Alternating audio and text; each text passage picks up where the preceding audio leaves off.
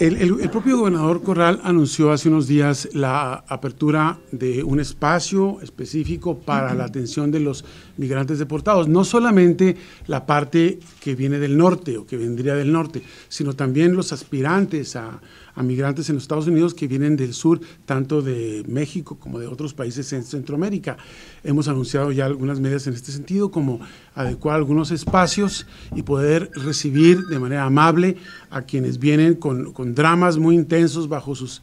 eh, en sus hombros y, y, que a veces requieren de sus propios compatriotas de un abrazo cálido que, que muy diferente pues al lenguaje que escuchamos.